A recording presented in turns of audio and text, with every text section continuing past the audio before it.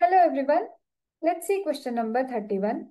If the HCF of the numbers 24 and 36 is 12, then find their LCM.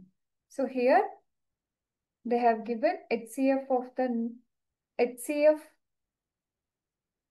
of 24 and 36 is 12 and the numbers are 24 and 36 but we don't know the value of LCM of these numbers that is 24 and 36 that we have to find out here.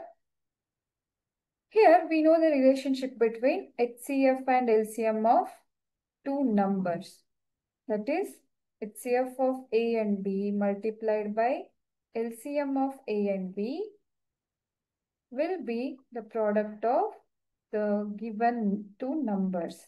So here we can use this relationship and find out the value.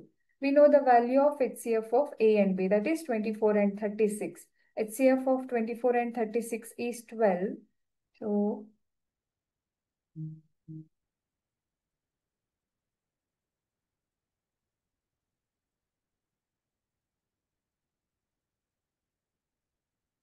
and the numbers are 24 and 36. So we have to substitute the value of HCF of 24 and 36 that is 12 and we have to find out the LCM of 24 and 36. Mm -hmm. Mm -hmm. So if we shift the number to other side of the equal sign, we will get 24 into 36 divided by 12.